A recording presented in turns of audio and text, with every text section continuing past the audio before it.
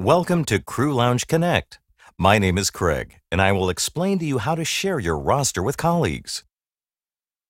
You can access the roster share page from the dashboard.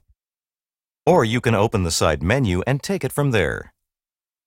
Click on the plus icon to add a new friend. If your friend is flying for the same airline, you simply insert the employee ID. If your friend is flying for another airline, select the airline company from the list and insert the company ID.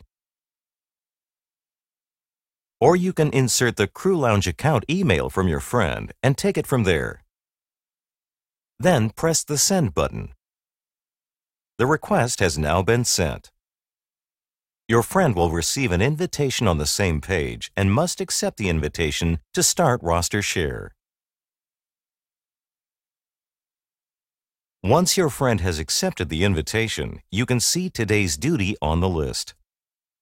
To see and compare all duties, tap on the arrow. The hours are indicating in your preferred time zone. To stop roster share, press the trash icon at the upper right corner. You can no longer see the roster of your friend, and your friend can no longer see your roster. Thank you for watching this video tutorial.